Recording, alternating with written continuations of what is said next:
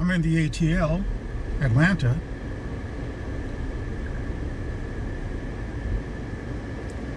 I was able to find a nice secluded spot uh, at a park near the hotel uh, that I'm in right now.